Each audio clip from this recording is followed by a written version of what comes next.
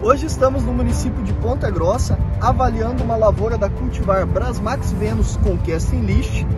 Essa lavoura foi plantada no dia 6 de novembro, hoje ela está com 66 dias, apresentando em torno de 15 entre nós, um porte mais ou menos de 70 centímetros. Eu queria destacar três pontos extremamente importantes dessa cultivar.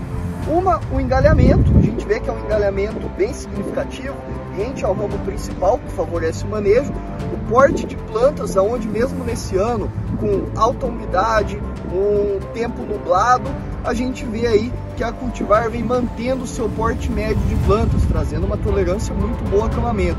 Nós da Brasmax queremos estar junto com vocês, agricultores do Brasil, agregando produtividade e buscando sempre implementar uma maior estabilidade à sua